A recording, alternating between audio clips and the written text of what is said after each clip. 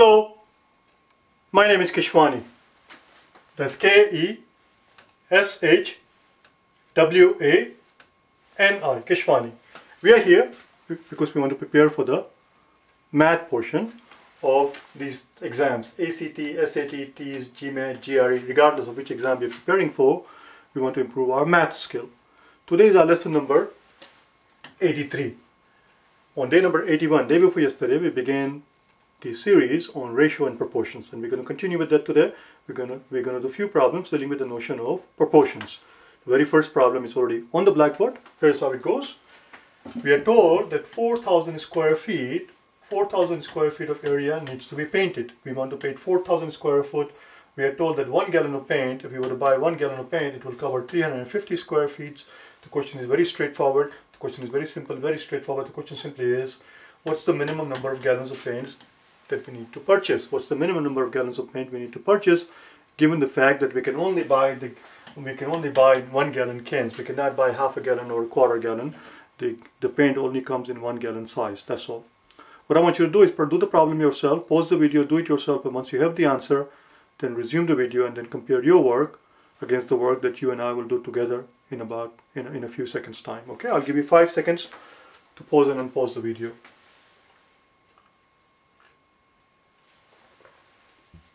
Alright, here we go. So the very first thing we have to figure out is what are the two things we are dealing with? It's a proportion problems. We have to first look at the two things we're dealing with. 4,000 square foot, there you go, that's the first item, square foot of area needs to be painted. Well, there you go, paint. We are told that we have to cover 4,000 square foot. Whatever I see first is what I write here. 4,000 square foot we need to paint. The question is how many gallons of paint we need to buy given the fact that they go on to tell us that one gallon, that one gallon, one gallon of paint, we are told, covers 350 square feet. That's it. Don't make too much fuss about it. Just put them in the order that you that appears in the exam. Uh, uh, that appears in the question. 4,000 square foot needs to be painted. Figure the question is how many gallons of paint do we need? We are told that 300 square feet can be painted with one gallon. That's it. And therefore you just solve for x here. It's going to be 350 times x 350 times x cross multiply equals 4000 and therefore x is going to be 4000 over 350 and the question simply is how many gallons of paint do we need? Now don't make it too complicated. Don't don't don't don't don't turn it into a freak show here. Keep it simple. Break it up into parts that are manageable. I see 4000 I see 350 why don't we break up 4000 into 3500 and a 500 3500 divided by 350, 500 divided by 350, plus 3500 plus 500 is, is 4000, which is what we have here. This part is very simple, this is 10 gallons. This is 10 gallons. The question is, how much do we need to paint another 500 gallons? Well, another 500 gallon, another 500 gallon can, can be further break it, broken up into 350, 350 square feet and 100 square 50 square feet. And this is going to require one gallon so that's 11 gallons so far. And then we still have 150 square foot of area that is not painted if we only buy 11 gallons. 11 gallons will not do the job. 11 gallons will, will leave us with 150 square feet of area unpainted.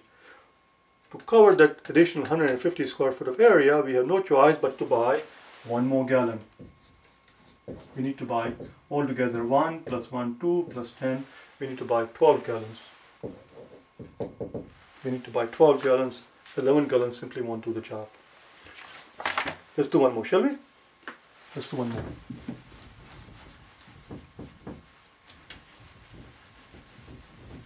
Do the problem. Do the problem. It's always a good idea to do the problems in logical intuitive way as opposed to simply doing this sitting there and doing it with a calculator which is the worst thing that you can do in my opinion or doing it uh, mechanically, you know, simply dividing it out 4000 by 350, you're going to end up with the fractions and all that and decimal and all that. Just keep it simple. Here you can clearly see we still have 150 square foot left unpainted. Let's do the next one. We are told that Mike takes Mike takes three hours to read 200 pages. Mike takes three hours to read 200 pages. They go on to tell us that Bob reads twice as fast. Okay. Question is, how many minutes, how many minutes will Bob take to read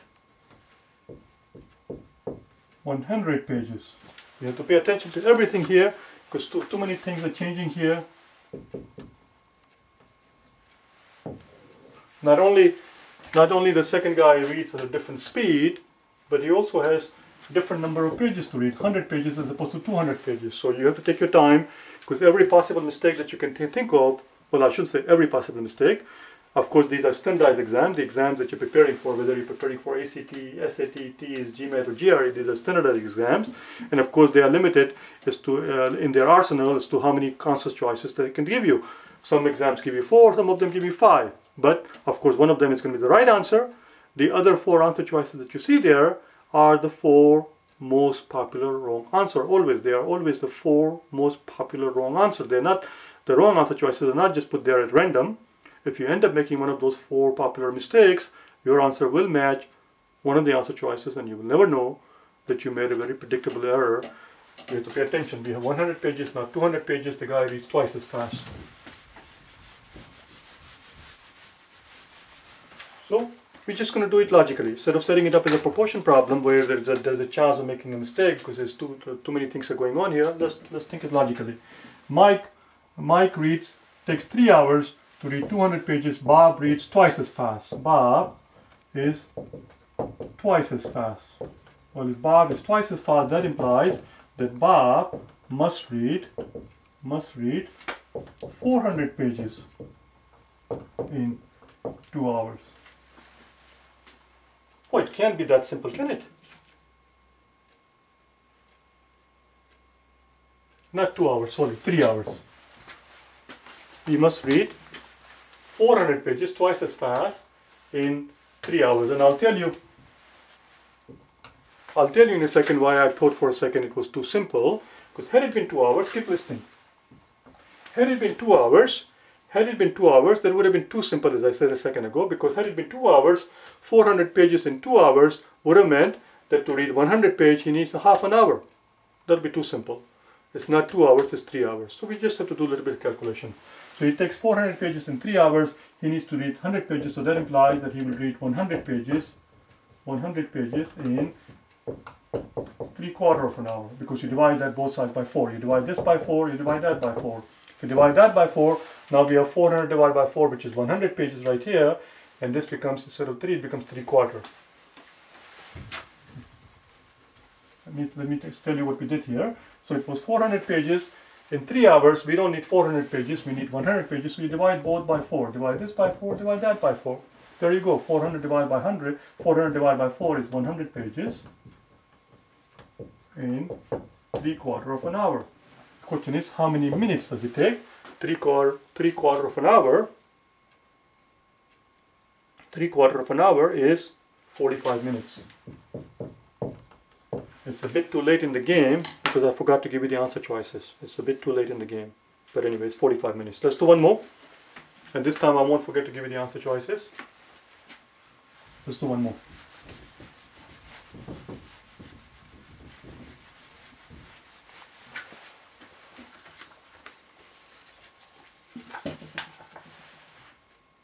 On a blueprint, on a blueprint, one quarter of an inch represents 12 feet.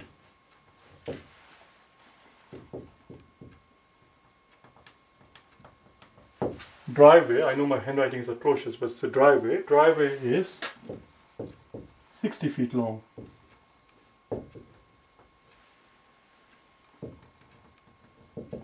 What's the length of the driveway in inches. Of course, I'm being lazy here. I don't write down everything here, but what they're saying is that was the length of the driveway in inches uh, on the given scale, on the blueprint. And here are the answer choices. I want you to do it yourself first before you continue watching the video. Here are the answer choices, 3 quarter, 1 and 1 quarter, 1 and one and a half, two and a half, and a half, 2 and a half, and 5. I'll give you 5 seconds to pause and unpause the video. Do it yourself first, okay? Okay, here we go. There are, there, are, uh, there are two choices, as always, we have here. One way is to set it up in a very academic way, a very, very classical way, a very orthodox way, very geeky way, very nerdy way, and actually do it out. Let's do that first, just for the sake of learning.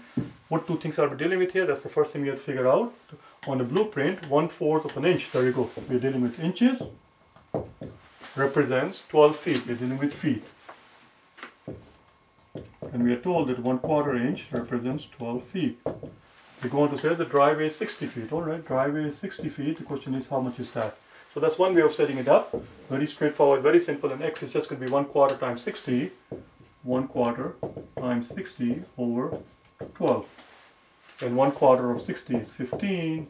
And then 15 divided by 12, divide top and bottom by 3. You'll end up with 4 at the bottom. You'll end up with 5 at the top. Is 5 fourths.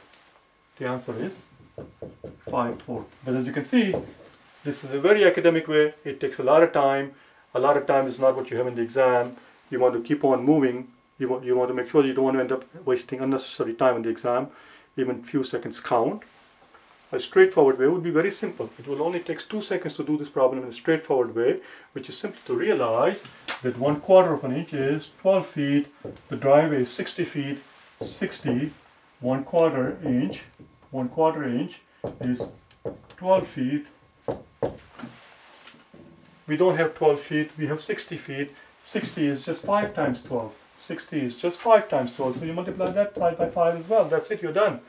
1 quarter inch is 12 feet. I'm going to erase this thing so that you can... 1 quarter inch was 12 feet.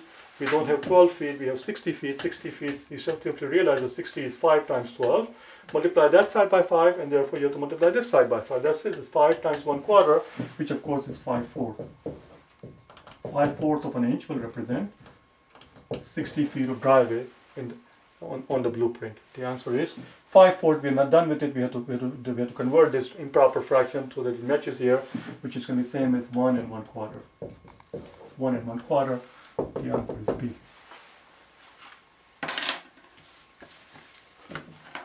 I'll see you tomorrow, okay? Bye now.